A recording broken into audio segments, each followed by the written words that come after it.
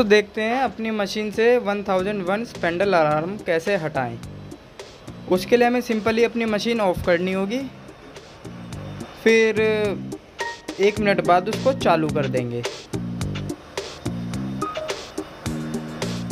चालू करते ही हम देखेंगे कि हमारा अलार्म जा चुका है। ये अलार्म हमारा आता है, जैसे कि एकदम हमारी लाइट चली जाती है, फिर एकदम आ जाती है। इसी चक्कर में वो एरर आ जाता है। खाली बंद करके ऑन करें ज़्यादा घबराए ना ये ठीक हो जाता है।